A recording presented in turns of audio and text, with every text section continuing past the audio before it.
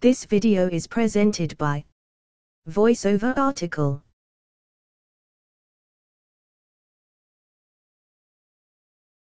If you are like me, you receive multiple 0% April credit card offers on a daily basis.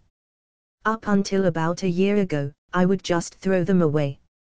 Then I wised up and saw an opportunity.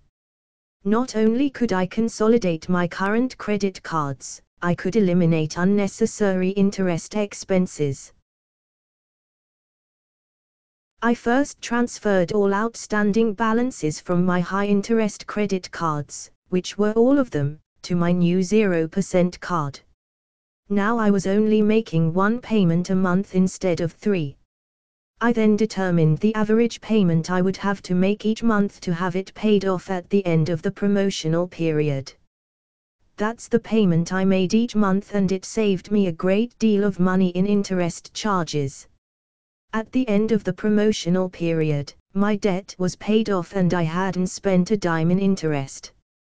The other option would have been to transfer the balance once again to a new 0% card at the end of the promotional period, further lowering the initial monthly payment.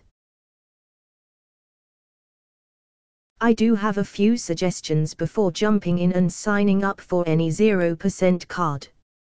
Compare all offers that are out there. Read the terms very carefully.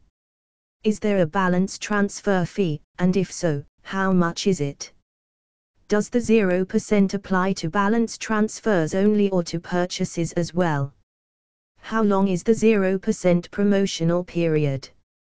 Know the terms well or this 0% card could cost you more than that 18% card you're already carrying in your wallet there are more credit card companies out there than you can imagine. Take your time to evaluate multiple offers and pick the one that is the most beneficial to your needs.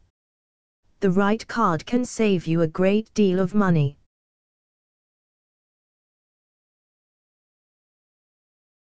This video is presented by VoiceOver article.